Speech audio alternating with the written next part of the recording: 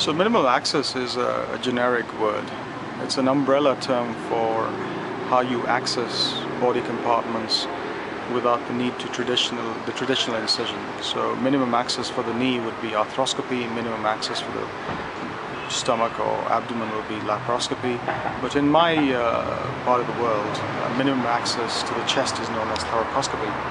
So normally the thoracoscope has a camera attached to it and you then do what you have to do but not looking directly into the chest but you have to look at a camera and that's known as a, at a video screen and that's known as VATS, Video Assisted Thoracoscope Surgery.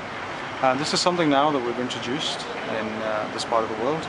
I'm routinely doing VATS surgery and I do that for a variety of conditions. Conditions that either where you need to diagnose what the problem is or conditions where you go in and you treat a condition within the chest. So what some of the common uh, the most common procedure I've done here is to provide a biopsy for my physician colleagues of the lung, but without the need to open the chest up. So I can do that using a camera which is only 10 millimeters or a camera which is 5 millimeters and the, and the patient gets discharged typically um, after a few days rather than uh, several days and the reason for that is that they have less pain, there is no need to put an epidural, they mobilize quicker, they go to, they go to work a lot faster as well and the incision is a lot more cosmetically appealing.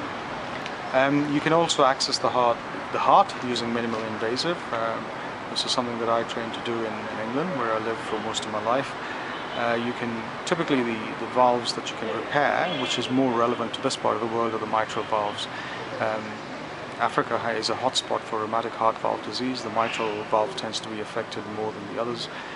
And because our population body habitus tends to be nice and slim, I feel this is something that should be looked at very aggressively because there is, uh, it comes with a promise that patients go home quicker, they mobilize faster, and they're back to their daily activities a lot faster.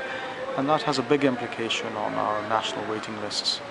Of course, to upskill the team, that requires an investment, an investment in capex, an investment in operational capex, uh, or costs, as well as an investment in human uh, capacity, resource capacity. However, there are well-established models around the world where this has been put in place and it's actually provided a really good return on investment. Um, Nairobi is a hub already. Nairobi is a hub for sub-Saharan Africa. We have a lot of specialist care which is being delivered here. It makes all the sense in the world to have Nairobi as uh, a place where the investment should take place. And certainly at Kenyatta where already we have some very very good surgeons with good